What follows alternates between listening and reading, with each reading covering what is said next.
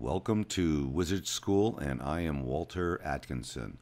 In this class, I'm going to discuss the 3D pipeline for movies. I have a few examples of some quick little videos that I did in learning Maya. So here they are.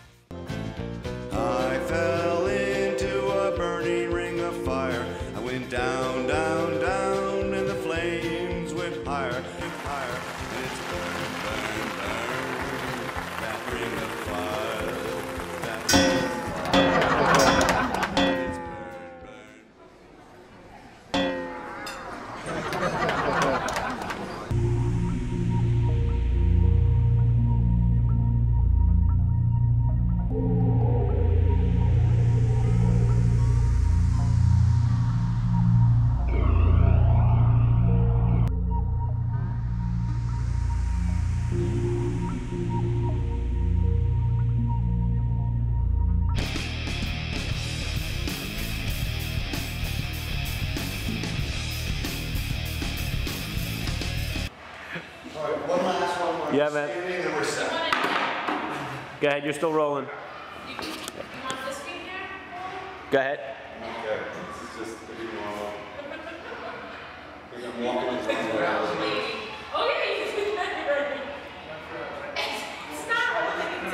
Hold on one second. The 3D pipeline for movies. Everyone watches 3D movies, but most do not know all that is behind movies.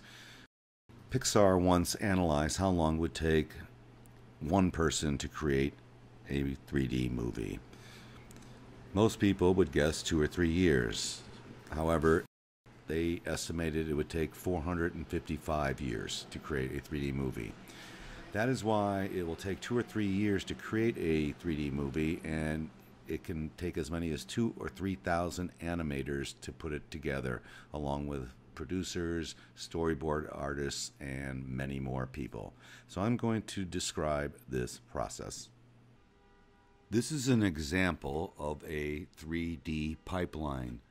The images are courtesy of 3D Animation Essentials by Andy Beane. As you can see, we have pre-production, production, and post-production. So first we will discuss pre-production. So the first thing you do when you're creating a movie or a movie short or a commercial is what is my idea? What is my inspiration? What do I want to do? So that is the first thing you want to come up with. Maybe your idea is to create a rabbit who is looking for carrots, and there's a character trying to stop the hungry rabbit. Maybe your idea is to create a frog that is trying to get across a road. There is a variety of ideas that a person can have. But your next step after creating that idea is creating a storyboard. A storyboard is a series of rough sketches that you use to show the key elements of scenes. So it could be expressions from a character, it could be motions from the characters, outlines of a character, visuals of another character showing up in a scene. Uh, so, and this storyboard then is presented to the artists involved in the project. So now the pipeline travels into animatics. And this is when humans will be enact, acting out the storyboard. So they will be in front of artists and a design team and going through the motions of the storyboard and using a variety of props. And the design team will then sketch out front, back, top, side, three quarter views, many views uh, to create the characters or objects in preparation for the next level. And this level would be production.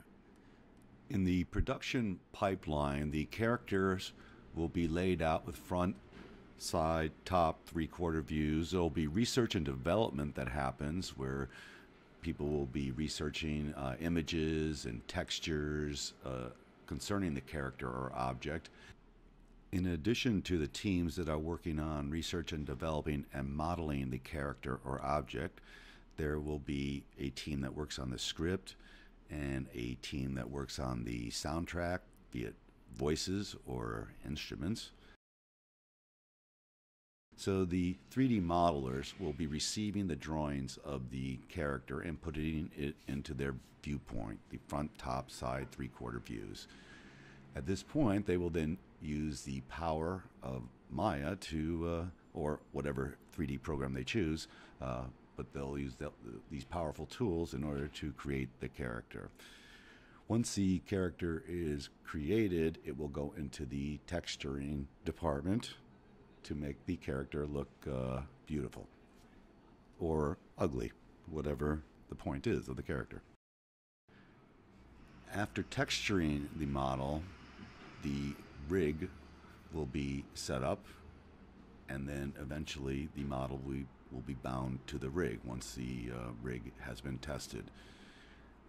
Then the animation team comes into play, and they will take the model and animate it in a variety of uh, key poses called character sprites, or in other words, character poses. This is an example of a character rig that I have created. Notice a three quarter view, top view, front view, and side view. I will click on my space bar to get into my three quarter view, holding down Alt, middle mouse click to pan.